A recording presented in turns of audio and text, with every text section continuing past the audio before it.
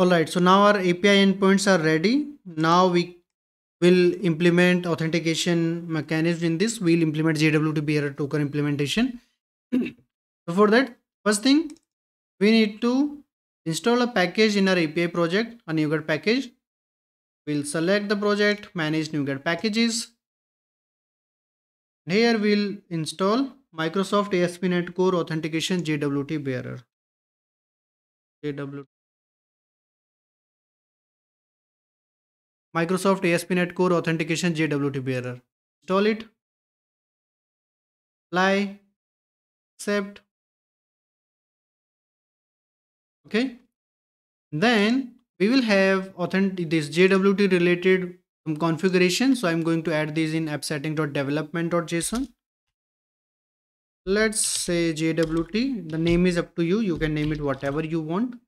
Inside this, we are going to have some secret key it is going to be some hard long key so it could be anything. I'm just having this random stuff here.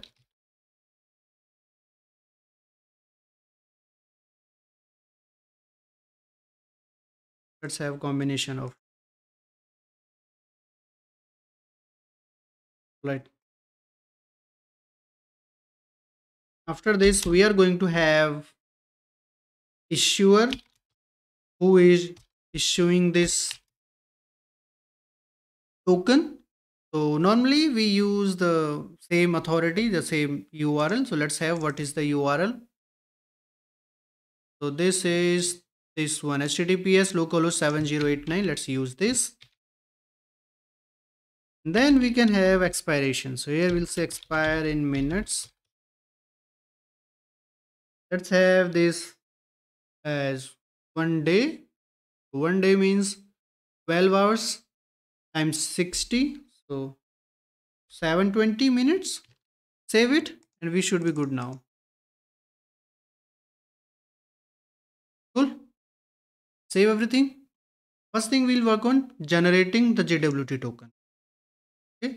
So where do we need that? We need that in auth endpoints uh, not auth endpoints auth service in our login async method. At the very end here we need that. So i'm going to create a helper method here. Private async or not async. Private void not void. Private string. Generate token. And we'll get user as a parameter. Okay. From here we'll return this token and we'll store this token here. We'll say generate token and we'll provide this user as a parameter.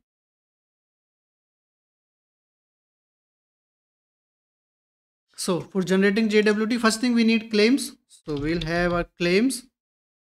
Let's have claims array. Claims equals. First, we'll have our ID. So we'll say new and for id i'm using claim types dot name identifier name identifier user dot id dot toString. And let's have name just name. For this we'll have user dot name. Then we can have email as well user dot email i guess we are good with this right We'll see if we need any other, we'll add those later. For now, we are good with these three. Alright. After that, we are going to get our secret key from our configuration uh, our app settings. So for this, what I am going to do, I am going to inject i configuration here. i configuration configuration. Let's create an assign a field here. This configuration prefix with underscore. Now let's use this. Here we'll say underscore configuration dot get value of type string. Value will be from this app setting dot development dot json. This jwt on the root. We'll have jwt then to access properties we use colon. So inside jwt we need to access the secret key. So let's use this. So jwt colon secret key now we have our secret key from this we will generate security key byte array basically here we'll say system dot text dot encoding dot U T F eight dot get byte secret key then we are going to create symmetric key from this symmetric key equals new symmetric security key here we need to provide byte array of the key. So this is security key which we provided.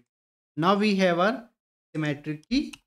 From this we are going to create our signing credentials. Signing creds equals new signing credentials.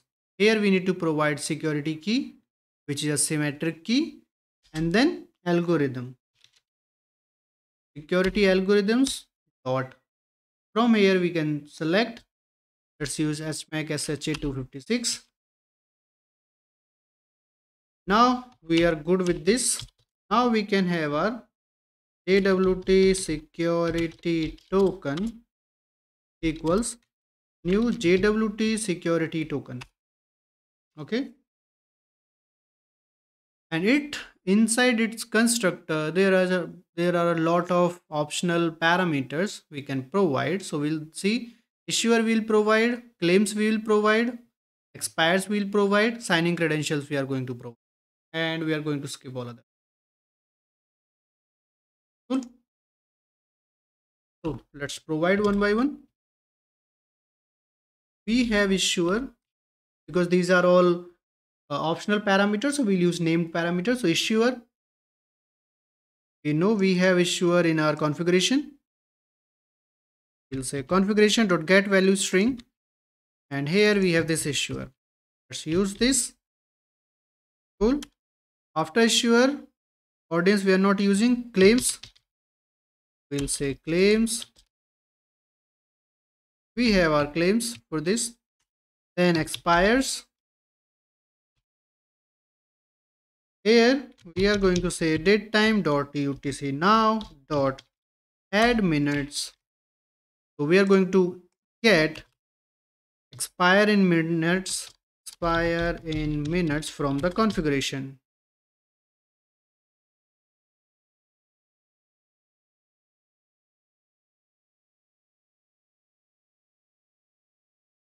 This is going to be int expire in minutes. This one. Alright. Expire in minutes. So we'll say add minutes, expire in minutes. After this, we are going to have signing cred. Signing creds. This is the name. What is the issue here? Uh, hmm. Why it is complaining about the issuer? If the value is not issuer, then this the overload for J does not have a parameter name issuer. Yes, it does.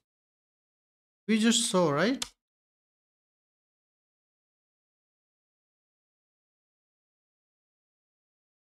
Hmm. JWT security token. Yes, it is. This one.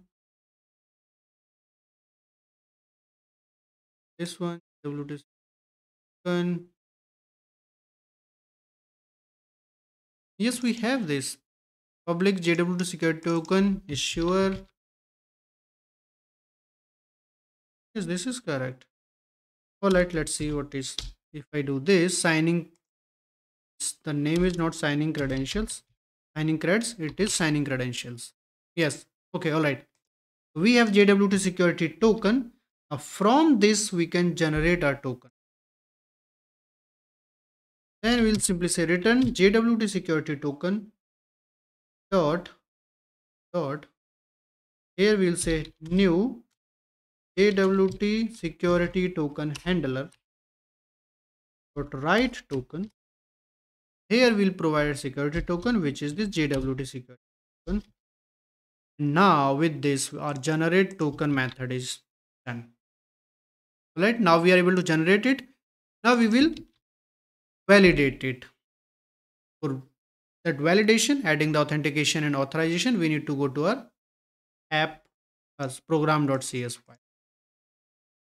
Okay. So here before builder.build we'll set up our authentication. We'll say builder dot services dot add authentication then we are going to add jwt bearer. Then we are going to add authorization which we can't here. We'll add another call. So we'll say builder dot services dot add authorization. We'll set this authentication and jwt bearer settings. Then in here in https redirection after this maybe we'll say app dot use authentication dot use authorization. Okay? Now let's set these uh, this add authentication and add authorization. These two things. First we'll set in add authentication. We can have some options. We can say options dot. We can set the default authentication scheme. We are using jwt bearer so we'll use jwt bearer defaults dot authentication scheme. Same thing we can set to options dot default challenge scheme. Cool. Then we have this add jwt bearer. We'll set jwt bearer related option. Okay. Main thing is here we'll set option dot token validation parameter. This is of type token validation parameters class. So we'll say new token validation parameters. Use using statement and then we are good. We need to just set a couple of properties here. Right? First we need to tell it what is the valid issuer for this token what is the valid issuer this we know this is the valid issuer this one from configuration we are going to get this thing so here we can access the configuration using this builder.configuration. We'll say issuer equals builder.configuration get value JWT issuer like this. Same thing we'll get our security key here. Key secret key sorry. Secret key and we need to generate our symmetric key. So the same way let's copy these three things and have these here.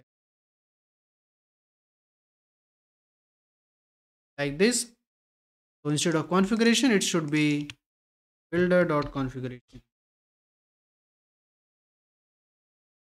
right now valid issuer. We know this is the valid issuer now do we want to validate issuer? Yes. So validate issuer true. Right? Then we'll say issuer signing key equals this symmetric key. And we want to validate this as well. So validate issuer signing key is true. And then we'll say validate audience we'll simply set it to false because we are going to use it from the mobile app. So we are not validating the audience. And with this i guess we are done. Cool. All right. Now i'll do one more thing. I'll do the automatic db migration here. Right now we added something this thing right previously but we didn't run this thing against our database so it's better to have this here so here i'm going to create static void let's say auto migrate db something like this. Here i'm going to have i service provider sp okay, here we'll say var scope equals sp dot create scope. Can have using.